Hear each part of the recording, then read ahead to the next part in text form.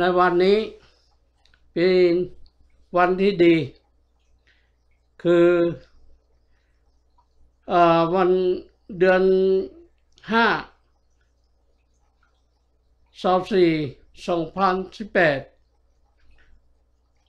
บอกง่ายๆ ภาษาลาวและภาษาไทยนี่มันชักกันนี้มันว่าเป็นความลำบากมากที่สุด ฉะนั้น ผมคือโลกคนหนึ่งที่มีชื่อเสียงของอ่าพวกพี่น้อง ของพ่อพี่น้องของพ่อนั่นคืออานายพล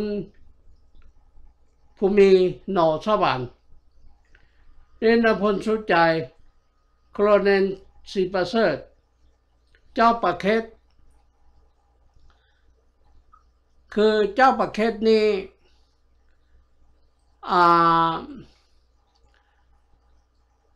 พ่อบเรียกชื่อของมัน มันว่าเคสควันเป็นอย่างมาก พ่อจึงว่าเจ้าประเคสแต่ชื่อของท่านนั้นคือพิชราและเป็น พี่ชายของอ่าอืมนายุทธสุวรรณาและสุพรรณวงศ์แต่สองคนนี้ มันอย่าเองซ้ายเองขวาพ่อก็เลยไม่อยากเป็นเพื่อนกับน้องชายสองคน และ ตอนที่นายพลภูมิหนองสวรรค์นี้ อยู่และเป็นนายศของเราพ่อก็เลยเป็นเพื่อนกับพวกนี้ทุกๆคน ตอนนั้นนายพลสุดใจยังยังไม่ได้นายพล ยังเป็นโครเนนอยู่ แล้วต่อมานพลสุดใจจึงค่อยได้รับสั้นโครเนนเอ่อรับสั้นนายพล แล้วท่านคือผู้กำกับใส่ทางที่มาจ้าฮานอย คือนัมเบอร์แปด และมาหาคำเกิดลาซาวและตอนนั้นมาถึงลาซาวคำเกิดแล้ว แยกไปทางซ้ายก็เลยลองไปหา เวียดนามใต้ และตองมาก็มาหาเวียงจันทร์และตอนที่สายทางใหญ่นี้แยกแล้ว สายทางที่มาเวียงจันทร์นั้น ใส่นัมเบอร์สิบสามและผ่านมาเชียงของแล้วนัมเบอร์เจ็ดนั้น มาจาฮานอยนั้น มันแยกแล้วออกไปหา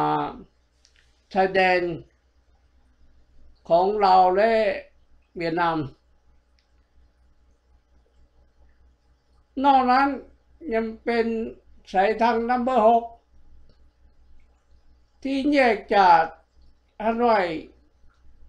ไปทางขวาอันนั้นก็เข้าใกล้ๆมาเมืองลาวคือกัน เพราะฉะนั้น ในวันนี้ ผมอายุ แต่ไม่ไม่ถึงจะเกกกรรม แต่มีอากาศเจ็ดในร่างกายและไม่สมบูรณ์ ฉะนั้นไม่รู้สึกว่าวันไหนจะได้จ่าลูกของเราไป หรือจะอยู่กี่เดือน กี่ปีต่อไป ฉะนั้น จึงบอกให้พี่น้องลาวเฮาไม่รู้ว่า ผมเนี่ยชีวิตของผมเนี่ยจะอารามลูกของเราเมื่อเมื่อใด ผมจึงเตือนให้พี่น้องลาวเฮาว่า ตามจุดประสงค์นั้น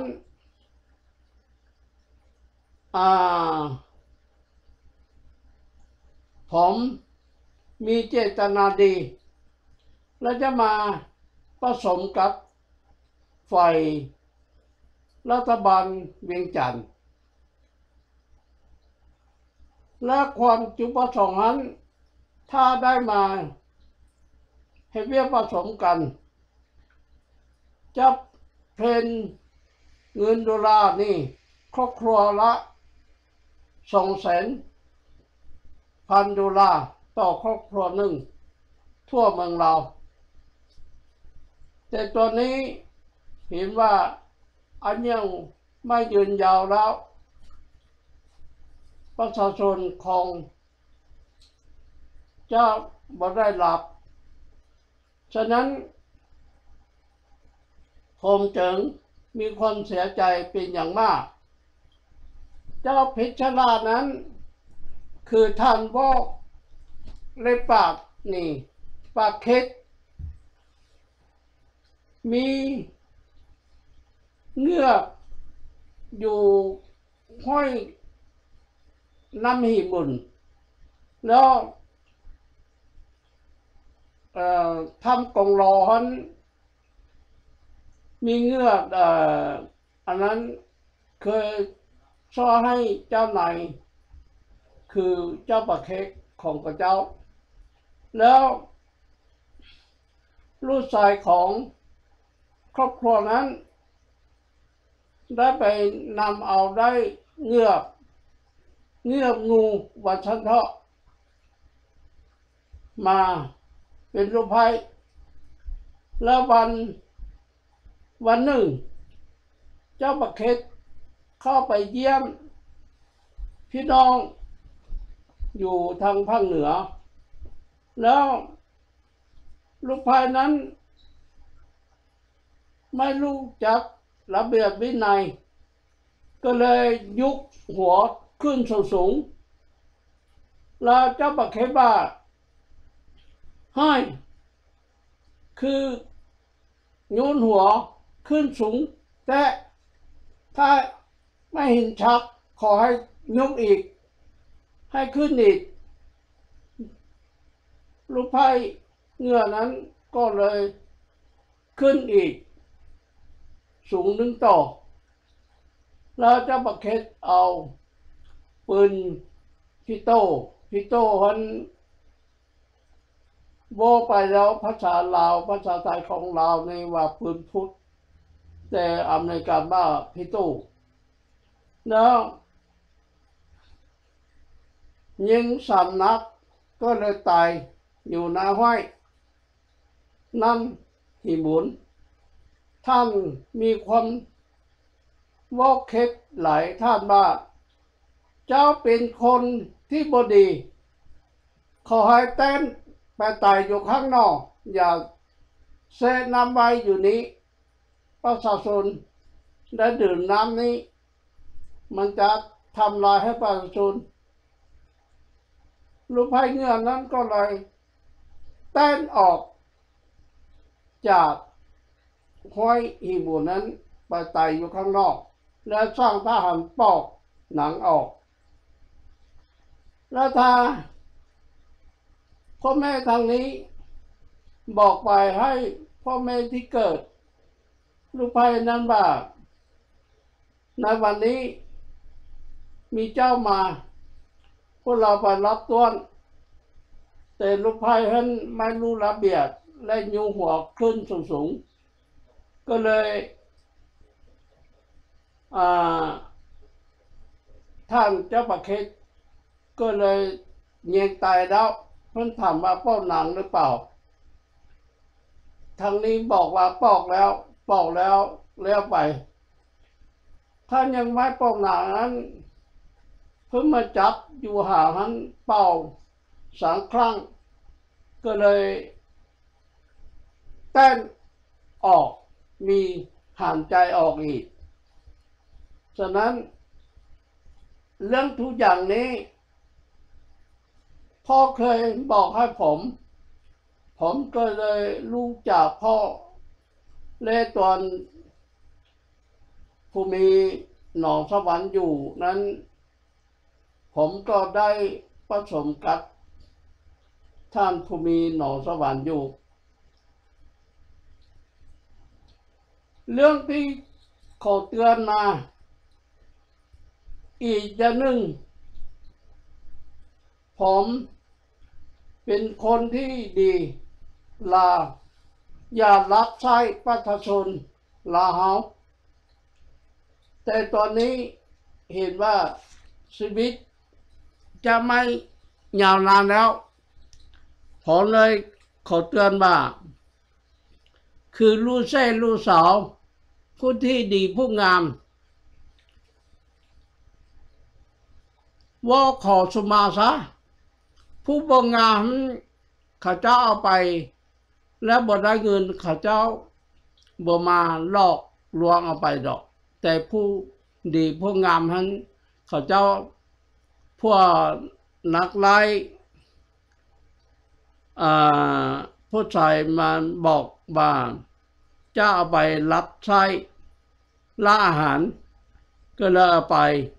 เอาไปแล้วไม่ใช่เอาไปเฮเบียอยู่ล่าอาหาร เขาจะเอาไปทำลายร่างกายเห็นว่าเอาไปทำลายร่างกายหกเดือนแล้ว เพื่อนจึง ปล่อยลูกสาวนั้นคืนหน้าบ้าน ตอนนั้นอยู่ก็ไม่ดี ไม่อยู่ก็ไม่ดีแล้ว ผมจึงขอเตือนให้พี่น้องลาเฮาทุกเผ่าพันธุ์ ซึ่งคือผมก็คือคนเรานี่แหละ ผมจะอารามลูก แล้วจะคอยเตือนให้พี่น้องทุกๆ ครอบครัวได้ทราบรู้และเห็นว่าเป็นจังไรจริง ฉะนั้น ในวันนี้ ผมขอว่าแค่นี้พ่อเราก็ไม่มีเวลา จะว่าต่อไปขอให้ลาเฮาจงมีความสุข อืมสบายต่อไปอ่าในภายหน้านี้ขอขอบใจเป็นอย่างมากนะครับ